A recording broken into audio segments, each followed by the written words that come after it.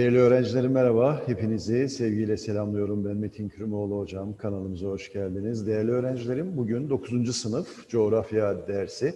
Birinci dönem birinci yazılı soru ve cevaplarıyla sizlerle beraberiz.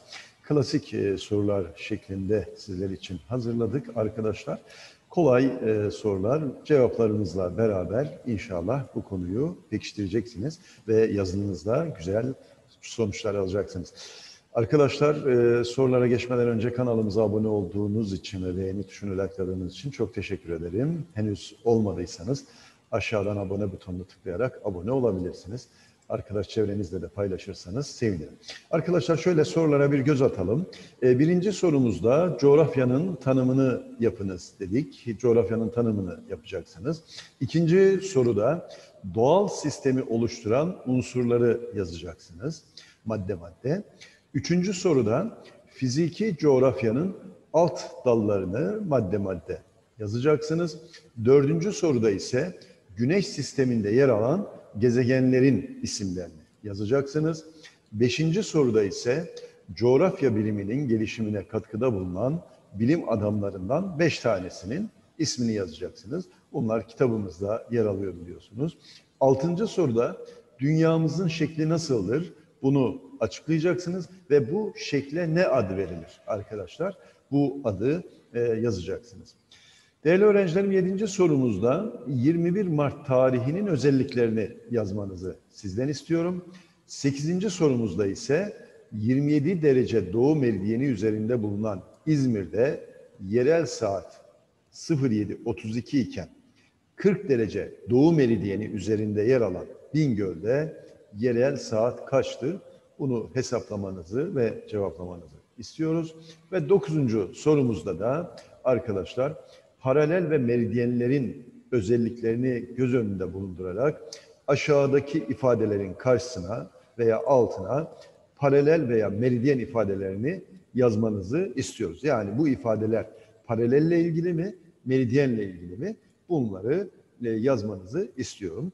Ee, ekranda dikkat ederseniz bu ifadeleri görüyorsunuz. Şu anda görmektesiniz. Evet. Peki arkadaşlar şimdi bunların cevaplarına geçelim isterseniz ve yazılı sorularımızı cevaplayalım. Ve siz de hem konuyu tekrar etmiş olun hem de bilgilerinizi pekiştirin. Evet birinci sorumuzda coğrafyanın tanımını yapınız e, demiştik. Arkadaşlar yeryüzü özelliklerini, yeryüzünün şekillenmesini ve insan ile doğa arasındaki karşılıklı etkileşimi inceleyen bilim dalına biz coğrafya adı veriyoruz. E, bu minval üzerinde siz de kendi cümlelerinizle tanımını yapabilirsiniz. Ama bu içeriğin olmasına dikkat edin arkadaşlar. Hocamız eğer coğrafyanın tanımını sorarsa bu ifade içeriğe uygun bir cümle kurarak e, tanımlamayı yapacaksınız. Yeryüzü özelliklerini, yeryüzünün şekillenmesini ve insan ile doğa arasındaki karşılıklı etkileşimi inceleyen bilim dalına, dalına coğrafya adı verilir diyoruz. Değerli öğrencilerim ikinci sorumuzda doğal sistemi oluşturan unsurları yazınız demiştik. Değerli öğrenciler doğal sistemi oluşturan unsurlar atmosfer, litosfer, hidrosfer ve biyosferdir. Yani atmosfere hava küre diyoruz günümüz Türkçesiyle. Litosfere taş küre diyoruz. Hidrosfere su küre diyoruz ve biyosfere canlılar küresi diyoruz.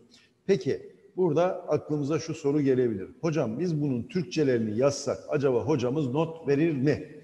Arkadaşlar genel olarak coğrafi terim e, olması hasebiyle atmosfer, litosfer, hidrosfer ve biyosfer yazmanız gerekir arkadaşlar. Yani bunu yazmanız gerekir.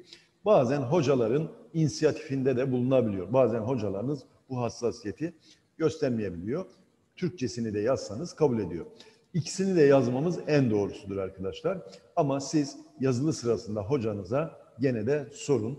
Eğer hani diyelim ki e, litosferi hatırlamıyorsun ama taş küre bunu biliyorsun. Bunu yazmak istiyorsun. Acaba hocam notumu kırar mı? Bunu hocanıza sorun arkadaşlar.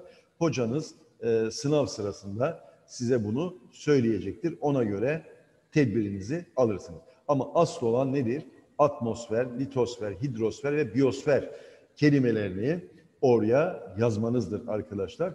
Türkçesini de biliyorsanız ve yazıyorsanız bu da güzel bir şeydir. Bazen hocanız sadece e, atmosfer, litosfer, hidrosfer, biyosfer yazmanızı yeterli görürken bazı hocalarınız tamamını yani Türkçesini de yazmanızı isteyebilir arkadaşlar. Bunu sınav sırasında hocanızdan sorun.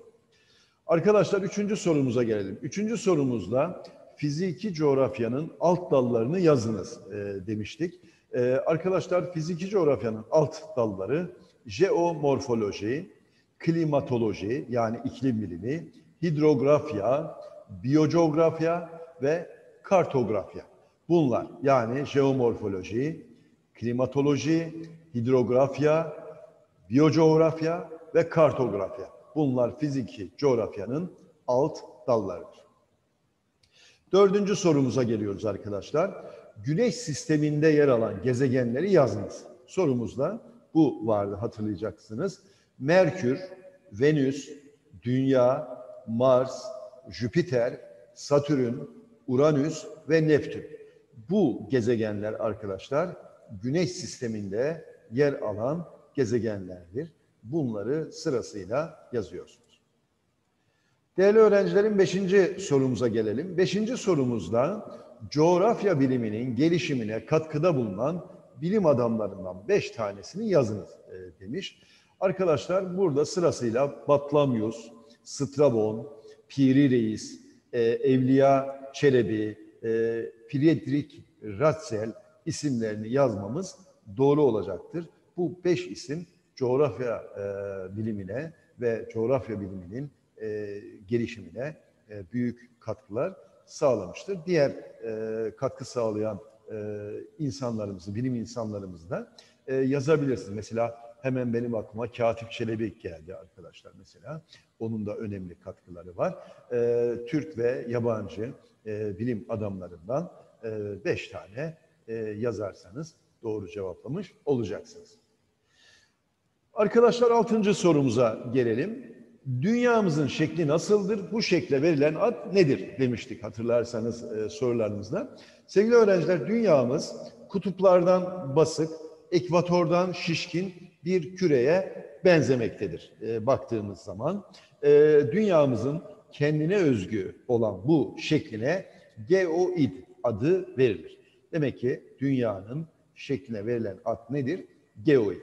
E, kutuplardan basık, e, ekvatordan e, şişkin bir küre şeklindedir. Dünya bu şekilde kabul edilir. Gelelim yedinci sorumuza. 21 Mart tarihinin özelliklerini yazın. Evet 21 Mart tarihi nasıl özellikler içerir? Bir, güneş ışınları ekvatora öğle vakti dik açı ile düşer. 21 Mart tarihinde. Gene 21 Mart tarihinde dünyanın her yerinde gece ve gündüz süresi birbirine eşittir. Ekinoks diyoruz. Kuzey yarım kürede, kuzey yarım kürede ilkbahar yaşanırken güney yarım kürede sonbahar mevsimi başlar.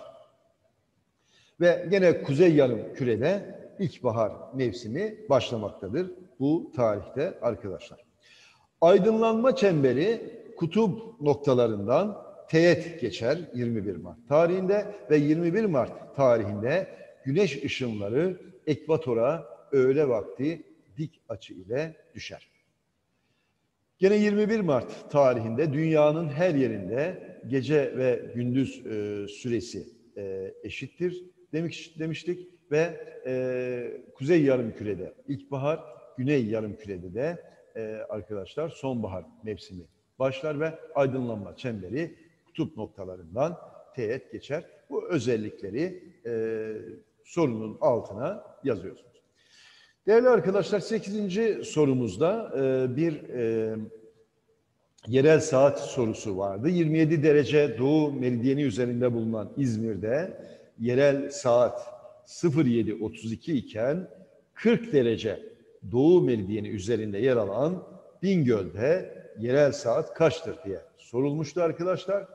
Burada arkadaşlar verilen merkezler aynı yarım kürede yer aldığı için biliyorsunuz kuzey yarımkürede, Türkiye'de yer almakta.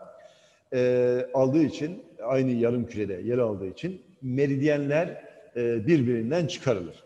Yani 40 derece meridyenini 27 derece meridyeninden çıkarıyoruz ve eşittir 13 derece kalıyor. İki merkez arasındaki zaman farkını buluyoruz. 13 derece çarpı 4, meridyenler arası 4 dakika olduğu için eşittir 52 dakika e, buluyoruz arkadaşlar. Ve doğuda yerel saat daha ileri olduğu için İzmir'in yerel saatinin üzerine 52 e, dakika e, ekleniyor, ekliyoruz ve e, 07.32 artı 52 dakika eşittir 08.24 saatini buluyoruz. Demek ki 08.24 e, olmaktadır e, yerel saat değerli öğrencilerim. Bu şekilde e, işlemimizi yapıyoruz. Siz de ekrandan kırmızı yazıyla bakın e, sizler için cevabı e, yazdık. Bunu e, yapıyorsunuz. İsterseniz not alabilirsiniz. Ve dokuzuncu sorumuza geliyoruz. Paralel ve meridyenlerin özelliklerini göz önünde bulundurularak, bulundurarak aşağıdaki noktalı yere cümlelerin karşısına paralel veya meridyen ifadelerini yazınız e, demişiz arkadaşlar. Hemen bu ifadeleri yazalım arkadaşlar. Aralarındaki uzaklık her yerde 111 kilometredir. Bu hangisiyle ilgilidir arkadaşlar? Paralelle ilişkilidir. Onun için noktalı yere paralel yazıyoruz. Uzunlukları birbirine eşittir. Arkadaşlar burada buna da meridyen e, yazıyoruz. E, birer derece açılarla çizildiğinde toplam sayıları 180'dir e, diyoruz. Bu da paralel e, arkadaşlar e, şeklinde ifade ediyoruz. Çevre uzunlukları kutuplara gittikçe azalır. Bunlar da paraleldir arkadaşlar. Kutuplara doğru paraleller ne yapar? Arkadaşlar dünya yuvarlak olduğu için e, azalır. E, birer derece açılarla çizildiğinden toplam sayıları 360'tır. E, buna da meridyen yazalım arkadaşlar. Ardışık olanların arasındaki yerel e, saat farkı 4 dakikadır arkadaşlar.